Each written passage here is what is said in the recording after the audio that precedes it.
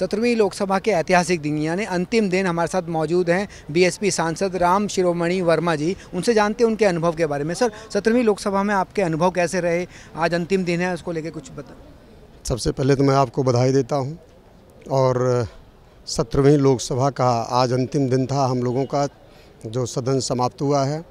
और हमें लगता है कि ये जो सत्र रहा है, कोरोना काल भी हमारे, हम लोगों के सत्र में रहा है। लेकिन उसके बावजूद भी हम सभी लोगों ने क्षेत्र के मुद्दे को गंभीरता से लेकर के सदन में गंभीरता से चर्चा किया है और हमें लगता है कि चर्चा करने का फ़ायदा भी हमारे क्षेत्रवासियों को मिला है और हमारी क्षेत्र की सम्मानित जनता को। जिस तरीके से विकास का जो मुद्दा था, लगभग लगभग हमने प्रयास किया है, चाहे वो मेडिकल कॉलेज हो, चाहे वो रेल लाइन हो, चाहे वो प्रधानमंत्री ग्रामीण की सड़कें रही हों, लगता है तमाम ऐसे विकास हुए हैं। तो हमें लगता है कि सत्रहवीं लोकसभा हम सभी लोगों के लिए बहुत अच्छी रही है और हमारी क्षेत्र की श्रावस्ती की सम्मानित जनता को मैं बहुत बहुत बधाई देता हूँ। सर सत्रहवीं लोकसभा की बात करें तो ये कई उतार चढ़ाव वाला रहा। कोरोना की आपने बात की पुरानी संसद की इमारत संविधान सदन अब कहा जा रहा है नई इमारत में आप लोगों का प्रवेश हुआ। ये वो ऐतिहासिक क्षण रहे हैं ऐसे देश में। अब राम मंदिर की बात करें उस पर चर्चा हुई। सब चीज़ों को लेकर आपका अनुभव क्या कहता है?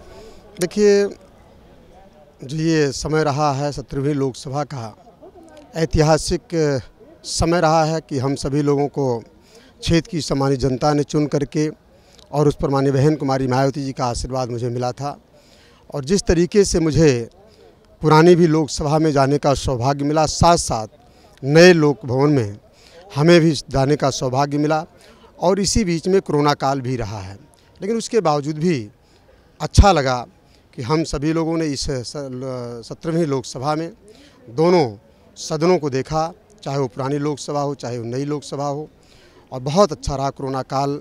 भी हम सभी लोगों के बीच में रहा है, लेकिन विकास हुआ है। साथ साथ आज ये देश की जो इमारत बन करके तैयार हुई है, पुरानी इमारत भी एक देखने में जिस तरीके से भाई कई सालों से वो इमारत थी, लेकिन जो थोड़ा सा हमें लगता है कि कंजेस्टेड था आज के युग में आज के इस नए परिवर्तन के युग में आज इस इमारत की ज़रूरत थी और माननीय प्रधानमंत्री जी ने नए लोकसभा को बना करके एक ऐतिहासिक कार्य किया है। धन्यवाद।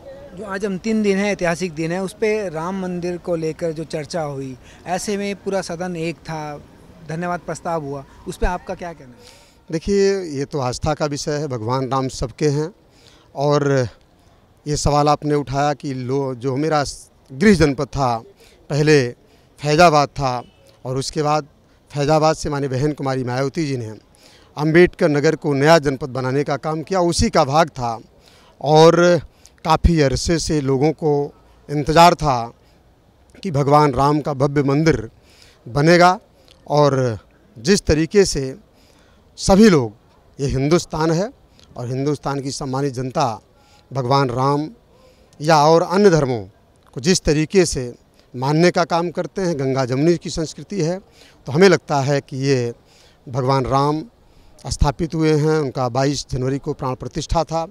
इसमें सभी लोग सहमति के साथ हम सभी लोग सम्मान करते हैं। धन्यवाद। हमसे बात करने के लिए बहुत बहुत धन्यवाद, सर। तो ये थे बीएसपी के सांसद राम शिरोमणि वर्मा जी, जिन्होंने अपने अनुभव साझा किए सत्रहवीं लोकसभा को लेकर। संसद टीवी के लिए सुरेंद्र कुमार।